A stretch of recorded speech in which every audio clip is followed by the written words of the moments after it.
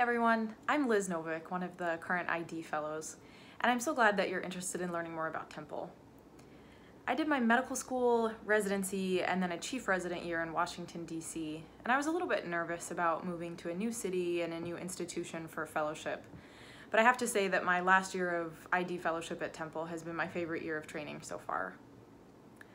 I typically start my week with a Monday morning clinic where I see my own panel of patients with HIV, hepatitis B, and hepatitis C.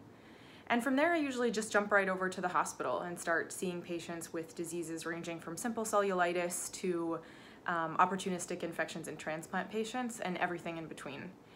And I truly think you can't get a better clinical experience than what you can get at Temple.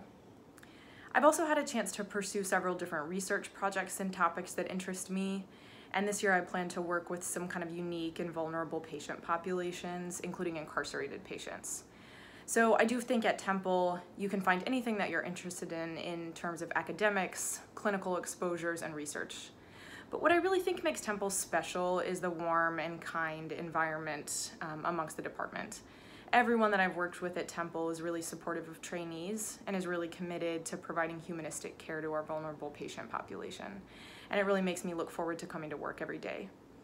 And lastly, while I'll admit that I spend most of my free time chasing my toddler around our backyard, Philadelphia is really a wonderful city to live in and explore. Whatever it is that you're interested in, whether it's good food or art or concerts or sports, Philly can offer that. And I think that's a really big bonus of the location of our program. So with that, I wish you the best of luck on the rest of your journey, and I hope to see you at Temple next year.